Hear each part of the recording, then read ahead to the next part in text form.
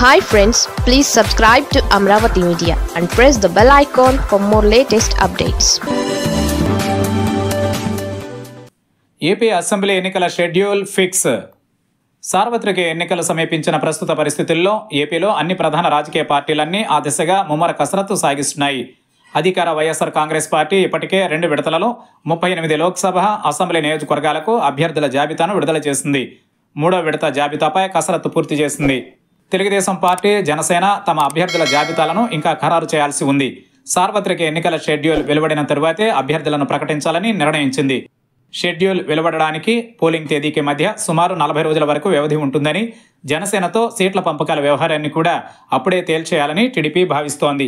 సార్వత్రిక ఎన్నికల schedule విడుదలపై YSRCP parliamentary party chief V. Vijayasai Reddy తన అభిప్రాయాలను వెల్లడించారు. మార్చి రెండవ వారంలో షెడ్యూల్ వెలువడుతుందని స్పష్టం చేశారు. లోక్సభతో పాటు అసెంబ్లీ ఎన్నికలు కూడా ఒకేసారి జరుగుతాయని అన్నారు. పంతొమ్మిది వందల తొంభై తొమ్మిది నుండి లోక్సభతో పాటు ఏపీ అసెంబ్లీ ఎన్నికలు జరుగుతున్నాయి. రెండు వేల పంతొమ్మిది వరకు ఐదు సార్లు జమిలిని ఎదుర్కొన్నామని పేర్కొన్నారు.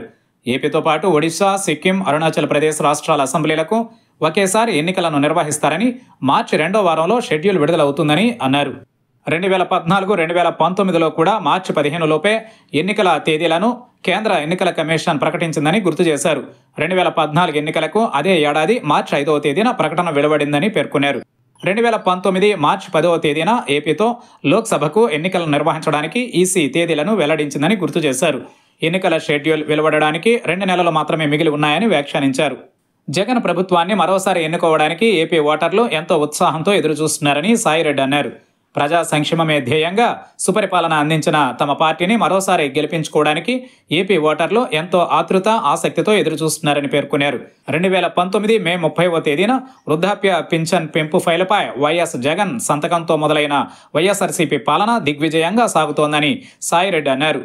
పేద దిగువ మధ్యతరగతి ప్రజలకు ఆర్థిక స్వావలంబనను కల్పించడానికి తమ ప్రభుత్వం వివిధ పథకాల కింద వారి బ్యాంక్ ఖాతాల్లోకి ఇప్పటి వరకు రెండు లక్షల నలభై ఆరు వేల కోట్ల రూపాయలను బదిలీ చేసిందని వివరించారు.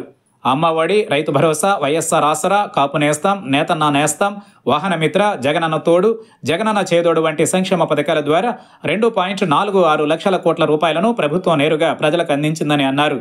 ఇలాంటి ప్రజాహిత ప్రభుత్వాన్ని మరోసారి గెలిపించడానికి ప్రజలు సంసిద్ధంగా ఉన్నారని పేర్కొన్నారు.